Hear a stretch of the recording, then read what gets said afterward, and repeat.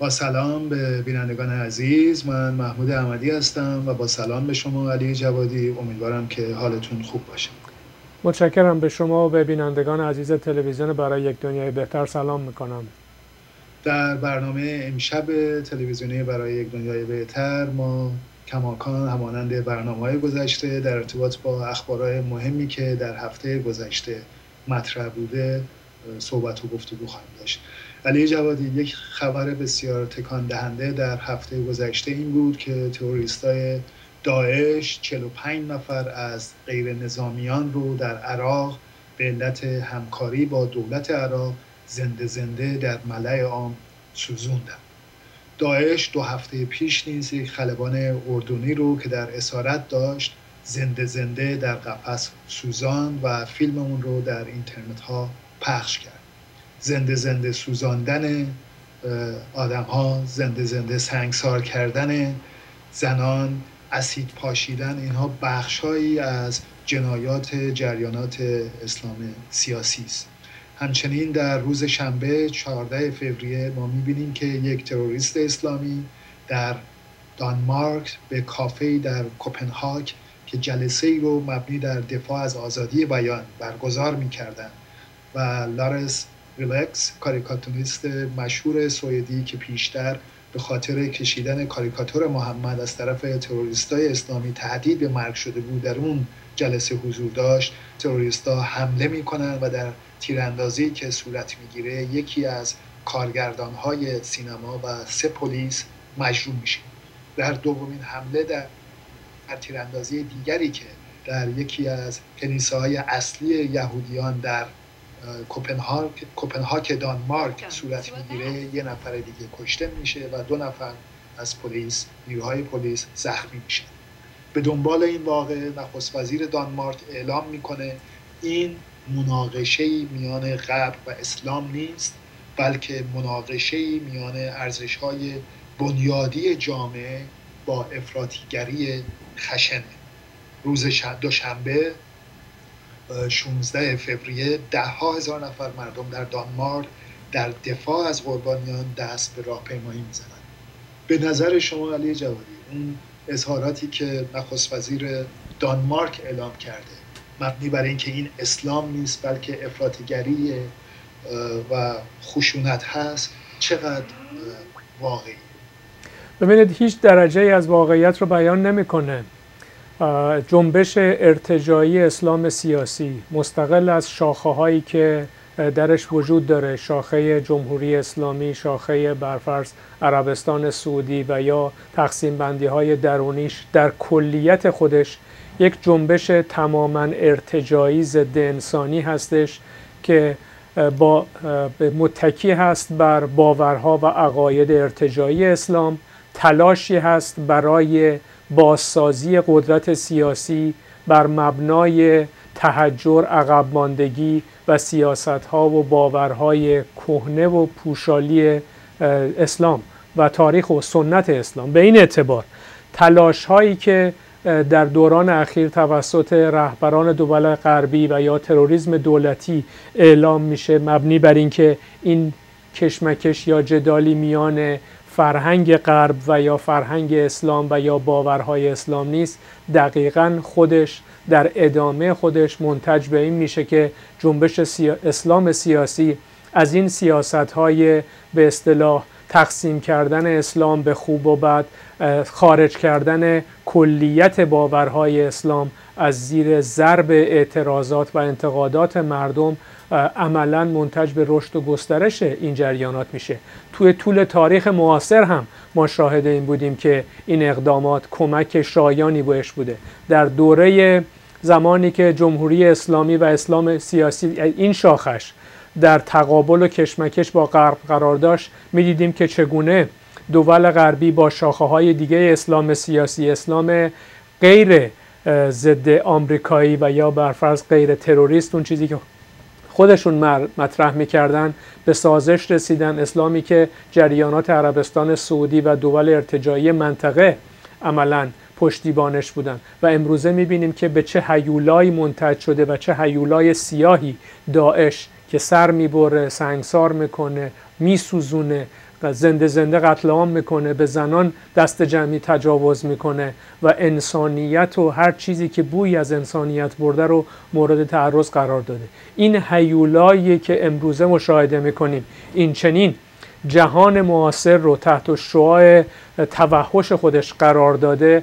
هیولایی هستش که بعضا موقعیت کنونی خودش رو مدیون سیاست هایی هستش که در رکن اصلیش سازش مماشات با تقسیم ها و یا شاخه های متفاوت اسلام سیاسی بودن اگر سیاستی قراره با این جریانات تعیین تکلیف بکنه باید بدونه که نه تنها این جنبش اسلامی رو باید زیر ضرب قرار داد بلکه باورها و سیاست هایی که به این جنبش ارتجایی منتج شده و این جنبش ارتجایی خواهان متحققش کردنش هست باید زیر ضرب انتقاد سیاسی فرهنگی و عمیق و همه جانبه قرار بگیره.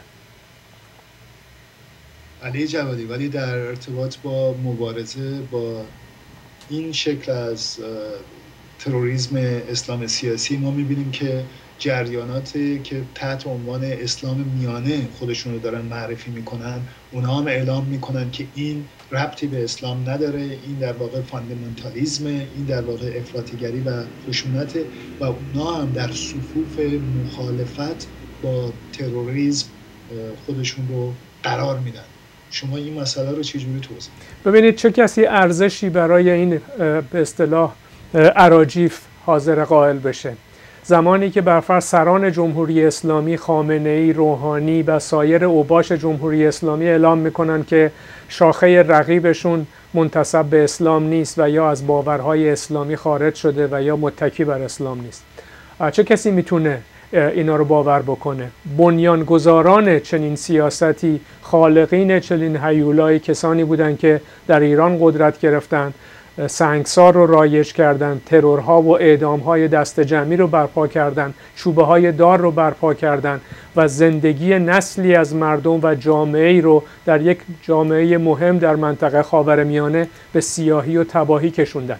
تمام این به اصطلاح عراجیفی که شاخه های مختلف اسلام در رقابت با همدیگه زده میشن با زده میشه باید به عنوان بخشی از کشمکش و رقابت برای تسلط بر و کسب هژمونی در درون جنبش اسلام سیاسی دید و به این اعتبار باش نگاه کرد. هیچ درجه ای از حقیقت رو منعکس نمی‌کنه هیچ درجه ای از واقعیت نیست. چه کسی؟ ما مردمی که قربانیان جمهوری اسلامی بودیم آیا میپذیریم که خامنه ای اعلام بکنه که اسلام بر فرض دین رحمانی هستش و اسلام دین کشتار و ترور و غیره نیست؟ ما دیدیم بهتر از اون می‌دونیم. جامعه بشری بهتر از اون می‌دونه که این اقدامات رو تماما متکی بر سنت اسلام به پیش بردن. زمانی که خمینی رهبر آدمکشان جمهوری اسلامی اعلام می‌کرد که باید بر مبنای سنت علی گردن در روزت داعش داره همون کارو می‌کنه جمهوری اسلامی همون کارو کرد و غیره و غیره. اگر اسلامی در گوشه ای از جهان به عقب رونده شده و وادار شده که عقب نشینی بکنه نه ناشی از خواستها و باورهای درونی این سنن ارتجایی بلکه ناشی از فشار و تقابلی هستش که بشریت آزادیخواه و مردمی که اسلام نمی‌خوان جنبش ارتجاع اسلامی سیاسی نمی‌خوان دست رد بر سینه این مرتجعی زدن وادار به عقب نشینیشون کردن.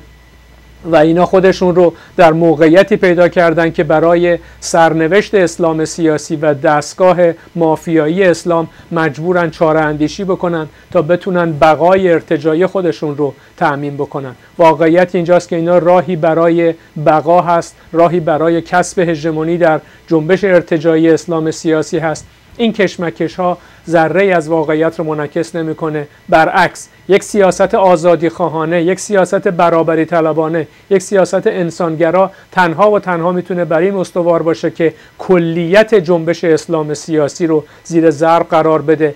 نقدی سیاسی فرهنگی اجتماعی و در عین حال مبارزه برای نابودی جنبش اسلام سیاسی که این مبارزه ابعاد همه جانبه می‌گیره. مبارزه علیه اسلام سیاسی از مبارزه علیه دستگاه اسلام باورهای اسلام جدا نیست. هر گونه تفکیکی ضررهای مخربی برای بشریت تا کنون به بار آورده.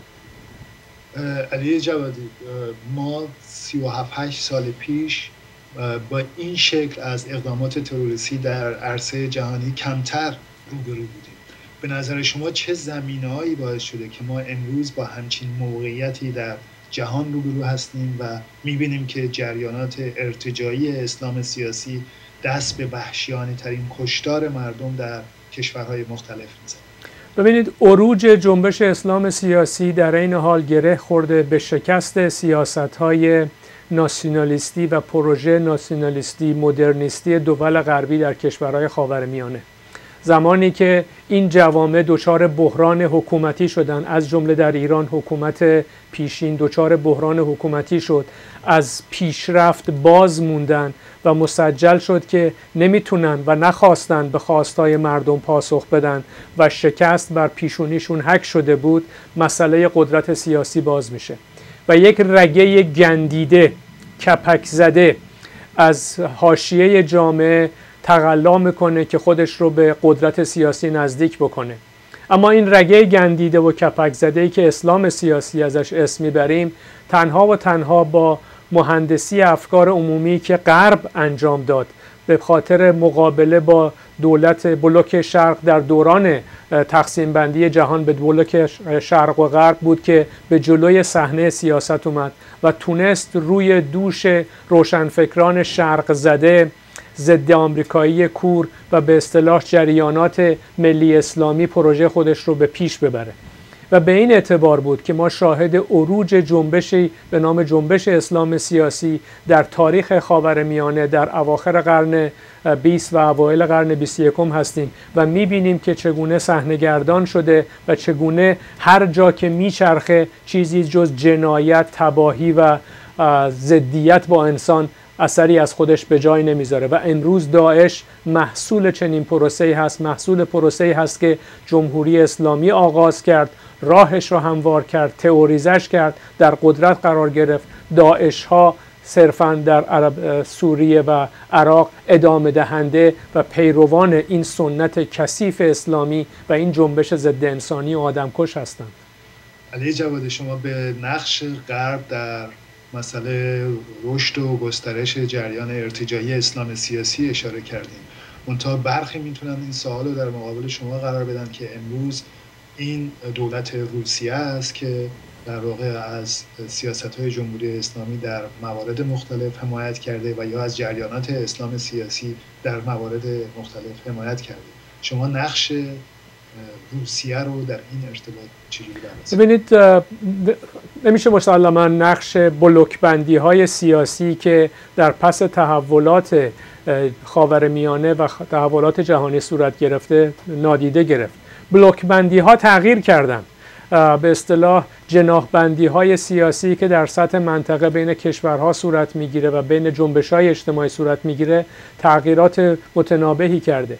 اما عروج جنبش اسلام سیاسی قدرتگیریش در یکی از کشورهای مهم خاورمیانه قرار گرفتنش در رأس قدرت سیاسی در ایران مدیون کمک های بدون شاعبه غرب بوده. زمانی که به اصطلاح براشون مسجل شد که حکومت شاه قابل دوام نیست زیر ضرب اعتراضات مردم سرنگون خواهد شد و پتانسیل چپ بودن تحولات انقلابی در ایران موجود بود. یک مهندسی عظیم افکار عمومی انجام دادن با خمینی و ائتلاف خمینی بازرگان سازش کردند تلاش کردند که قدرت رو به طور مسالمت آمیز به این جریان ارتجایی منتقل بکنند. ارتش رو وادار کردند که با رهبری خمینی بیعت بکنه و عملا این مهندسی افکار عمومی رو به پیش بردن. بی بی سی نقش تعیین کننده ای در قلمداد کردن تحولات انقلابی در ایران به عنوان انقلاب اسلامی داشت و خمینی رو رهبر این پدیده به اصطلاح ارتجایی اسلامی کردن و انقلاب رو زمینه های شکستش رو در حقیقت و اون پدیده ای که انقلاب 57 نام گرفت فراهم کردن. به این اعتبار عروج شرایط اولیه کاملا مسجله که غرب چه نقشی داشت. اینکه در پروسه تحولات آتی بلوک بندی ها تغییر کرده و سیاست های ائتلافی متفاوتی به دنبال گرفته شده کاملا قابل قبول هست. نقش دولت ارتجایی روسیه در کمک و به اصطلاح به جمهوری اسلامی و قرار گرفتن در این بلوک واقعیت انکارناپذیری هست که در تداومش باید بهش نگاه بکنیم. علی جوادی وقت زیادی به این قسمت از برنامه نداریم. من سوال آخر در ارتباط با همین مسئله می‌پرسم ازتون. راه مختلفی که در ارتباط با مقابله با جریان اسلام سیاسی مطرحه یه راه حل راه حل غربه که مبتنی بر حمله نظامی و علیه داعش و جریان اسلام سیاسی هست و راه, و راه حل دیگه راه حل مردم مترقی و مردم آزادی خواه و قطب رادیکال و قطب چپ شما در ارتباط با راه های مختلفی که مطرح است نظرتون چیه؟ ببینید راه حل غرب دول غربی و اون چیزی که ما در ادبیات سیاسیمون ازش به عنوان تروریسم دولتی نام بردیم راه حلی مبتنی بر سیاست میلیتاریستی و تروریستی هست در عین حال. یک نوع تروریسم هوایی. تروریسمی که مبتنی بر این هستش که از ارتفاع سی هزار فوتی بمباران می‌کنه نابود می‌کنه تر خوش رو با هم میسوزونه و به اصطلاح هدف خودش رو قرار داده که به لحاظ نظامی نیروی اسلامیستی مقابل خودش رو به شکست بکشونه. این سیاست در کشورهای مختلف در مناطق مختلف دنبال شده. پس از 11 سپتامبر پس از اون فاجعه خونین. در افغانستان دیدیم که به نتایج مورد نظر خودش منتج نشد. جریان طالبان کماکان بخشی از واقعیت سیاه زندگی و ابرهایی هستش که بر فراز جامعه افغانستان در حرکت هستند. در عراق دیدیم که عملا زمین ساز به وجود اومدن یک کعبه و یا مکهی برای جریانات تروریستی و شاخه های مختلف تروریسم اسلامی بود که زمین به اصطلاح همواری رو براشون فراهم کرد. در سوریه هم همینطور در لیبی هم همینطور. به این اعتبار باید گفت که این سیاست ها نشون داده شده که نتایجی جز شکست و جز به اصطلاح بعضا گسترش و بارور کردن ریشه ها و زمینه های متفاوت جنبش اسلام سیاسی به دنبال نداشته. تنها و تنها یک سیاستی که نه تنها در مقابله با این جریان ارتجایی میسته دست به اسلحه می‌بره متحد میشه سازمان میده بر مبنای آزادی خواهی بر مبنای برابری طلبی بر مبنای سعادت انسان ها هست که می‌تونه ریشه های عمیق اجتماعی سیاسی این جریانات رو به اصطلاح از جامعه پاک کنه و زمینه رو برای به اصطلاح نابود کردن جنبش تروریسم اسلامی فراهم کنه. سرنگونی جمهوری اسلامی یک حلقه مهم در نابودی تروریسم اسلامی در نابودی جنبش اسلام سیاسی هست. از بین بردن مصائب مردم مشخصا مسئله فلسطین در خاورمیانه و حل عادلانه این مسئله و ایجاد کشور مستقل فلسطینی در کنار کشور اسرائیل با حقوق برابر و متساوی الحقوق. و از بین بردن فقر و فلاکتی که این جریانات اسلامی بر مبناش می‌تونن دستجات اجیر شده خودشون رو فراهم بکنن. از بین بردن نابرابری های عمیقی که وجود داره اینها سیاستی هست که زمینه های نابودی تروریسم اسلامی و جنبش اسلام سیاسی رو می‌تونه تأمین کنه. هر درجه بند و بست هر درجه سازش هر درجه اتکاب به یک بخش از اسلام سیاسی برای مقابله با بخش دیگه هر درجه صرفا متکی شدن بر میلیتاریزم کور و تروریسم هوایی نتایجی جز به اصطلاح گسترش و یا زنده نگه داشتن این حتی علا رغم میل طرف مقابل به دنبال نخواهد داشت. در این قسمت از برنامه در ارتباط با یونان صحبت می‌کنیم. به دنبال پیروزی چشمگیر حزب سیریزا و تشکیل دولت از طرف این حزب که با استقبال بسیار وسیع در خود یونان و همچنین در برخی کشورهای اروپایی من جمله اسپانیا و ایتالیا روبرو شد ما به دنبال اون شاهد هستیم که تجمع همبستگی در دفاع از مردم یونان در شهرهای مختلف اروپا و امریکا برگزار میشه.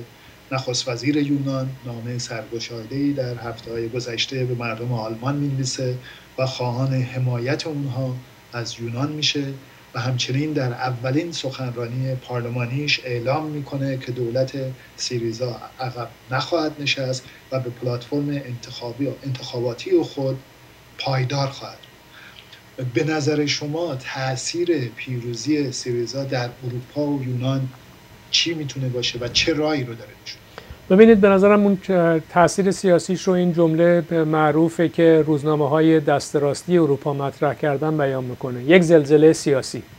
و به نظرم باید اضافه کرد که یک گسست از راه حل های تاکنونی بورژوایی و بورژوازی در مقابله با بحران اقتصاد سرمایداری زمانی که سیاست ضد انسانی ریاضت کشی اقتصادی رو بر دوش مردم به اصطلاح تحمیل می‌کنن زمانی که سرمایه و تحرک سرمایه به بنبست می‌رسه و یا دچار بحران میشه راه حل رو بر فشار بیشتر بر مردم زدن از سفره خالی مردم و یا تحمیل فقر و فلاکت بیشتر بر مردم و توده های به اصطلاح ستم دیده و محروم دنبال می‌کنن و به این اعتبار تلاش می‌کنن که رونق مجددی به زندگی سرمایه و سوخت ساز سرمایه بدن.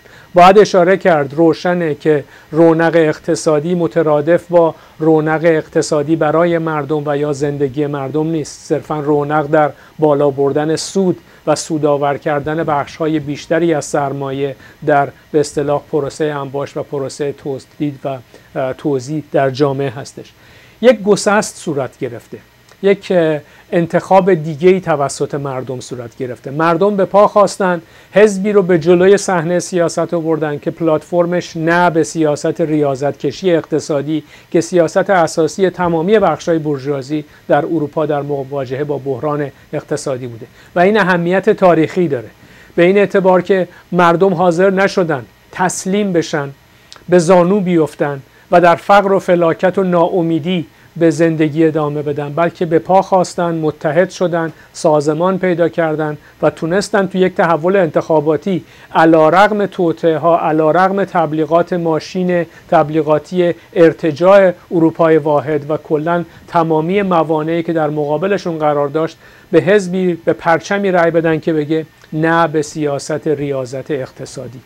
و در حقیقت این حزب رو جلو بردن به این اعتبار فکر می‌کنم که یک واقعی نسبتا تاریخی صورت گرفته. سرنوشت این تحولات چه خواهد شد؟ باید دید باید در جوانب مختلفش بحث کرد. اما نفس خود این واقع شور و هیجان متفاوتی آورده و راه جدیدی رو در مقابل مردم در کشورهای بحران زده سرمایداری در اروپا مشخصا در اسپانیا در پرتغال بعضا در, در ایتالیا و یا ایرلند و غیره داره جلوی مردم نشون میده. این یک واقعه تاریخی هست. علی جوادی یه مسئله مهم رابطه اتحادیه اروپا با یونان هست و مسئله ریاضت اقتصادی در واقع یه سیاست معینی بوده که از طرف اتحادیه اروپا و بانک جهانی بر یونان تحمیل شده. شما فکر می‌کنین اساس سیاست اتحادیه اروپا در مقابل دولت سیریزا چه خواهد من فکر می‌کنم اروپا با مشت ارتجاع اروپا با مشت آهنین خودش در مقابل دولت سیریزا در یونان عمل خواهد کرد. مذاکرات و رفت آمدهای تاکنونی هم این سیاست رو نشون میده. ارتجاع اروپا مبتنی بر ستون به اصطلاح ارتجاع آلمان و فرانسه جریاناتی هستند که سعی می‌کنند که با پیامدهای ناشی از این رویداد تاریخی مواجه بشن و اون رو در هم بشکنن. سیاست مشتاهنی رو دارن دنبال می‌کنن تهدید کردن که تحریم های اقتصادی و اقدامات تنبیهی بسیاری رو توسط اتحادیه اروپا دنبال خواهند کرد. می‌تونن اعتبارات مالی مبادلات تجاری و غیره رو در این کشور تحت فشار قرار بدن و مردم رو و یا دولت رو وادار به تسلیم و سازش بکنن و سیاست ارتجایی خودشون رو پیش ببرن.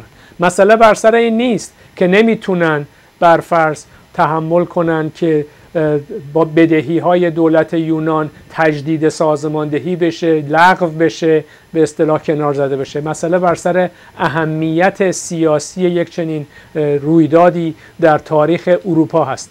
می‌گفتند چپ مرده کمونیسم مرده برابری طلبی از بین رفته آزادی خواهی شکست خورده باید تسلیم شد و تسلیم ارتجاع سرمایداری غرب شد و تسلیم سیاست هاشون دیدیم که نه تنها اون سیاست ها از بین نرفته نبرده بلکه مردم زمانی که به خودشون میان خداگاه میشن خود سازماندهی پیدا می‌کنن متشکل میشن و خواستای خودشون میارن جلو و حزبی رو جلو میارن که این سیاست ها رو نمایندگی می‌کنه راه هموار هستش و رویاوری به این مسئله در این حال نشان شکست سیاست های ارتجایی دست راستی و شکست تبلیغاتی بود که بر علیه چپ بر علیه آزادی خواهی و برابری طلبی انجام می‌شد.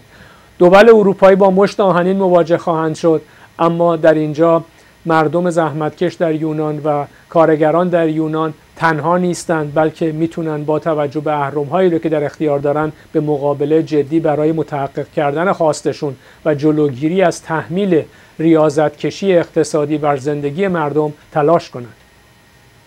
علی جوادی وقت زیادی به پایان برنامه نداریم. من سال آخر رو می‌پرسم. در ایران یکی از معضلات اساسی مردم ریاضت کشی اقتصادی رژیم جمهوری اسلامی بحران اقتصادی و مسئله تحریم ها رو به عنوان عامل اصلی تحمیل ریاضت کشی اقتصادی بر مردم قلمداد می‌کنه. شما نقدتون به سیاست رژیم جمهوری اسلامی در این رابطه چیه و همچنین جریانات مختلف اپوزیسیون و به خصوص حزب کمونیست کارگری سیاستش در مقابل ریاضت کشی اقتصادی مردم در جامعه ایران چیه؟ ببینید بحران اقتصادی که جمهوری, باش، جمهوری اسلامی باش مواجه هست یک بحران کلاسیک و یا ادواری اقتصادی جوامع سرمایداری متعارف نیست.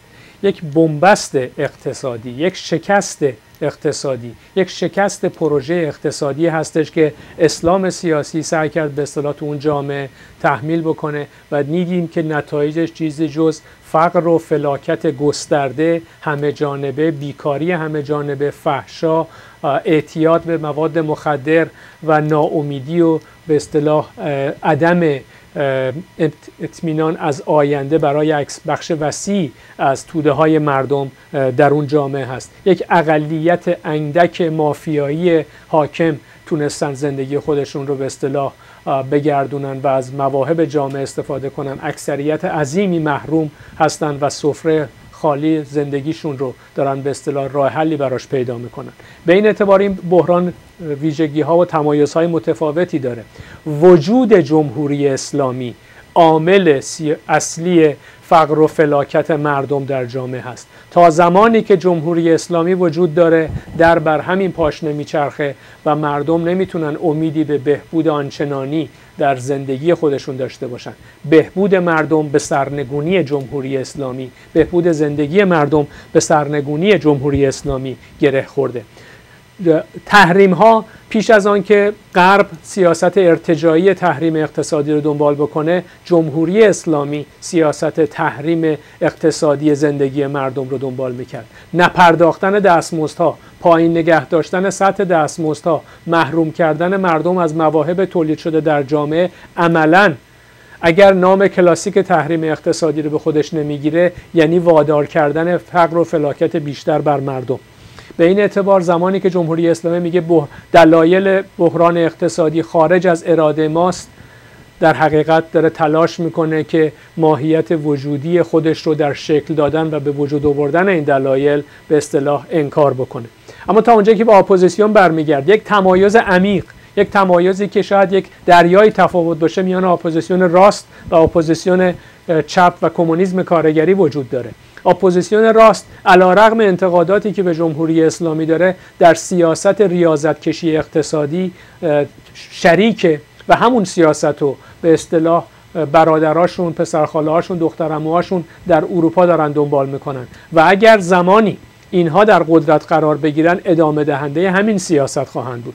اما در مقابل کمونیسم کارگری اردوی عظیم کمونیسم کارگری مبتنی بر رفاه آزادی و برابری طلبی هستش و سیاستش نه سیاست انباشت سرمایه تولید سود برای سرمایه بلکه گسست از تمامی موانع به اصطلاح پدیده سرمایه خلعیت از سرمایه به لحاظ سیاسی و اقتصادی و سازماندهی اقتصاد جامعه بر مبنای تعاون همکاری و رفع نیازمندی های همگان هست. دریایی فاصله وجود داره. اتفاقات یونان نشون داد که چرا راست برفرض اپوزیسیون در ایران هم مشترک در اقداماتی که آلمان بر فرض و یا فرانسه بر علیه سیریزا و دولت به پا خواسته و نوپای یونان انجام خواهند داد. و این تنها نشون میده که یک بار دیگه تنها و تنها اردویی که می‌تونه متضمن آزادی و رهایی و رفاه اقتصادی در جامعه باشه اردوی کمونیسم کارگریه.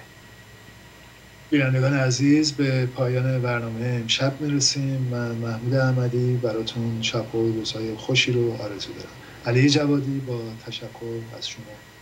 متشکرم به شما بینندگان عزیز روز بخیر میگم.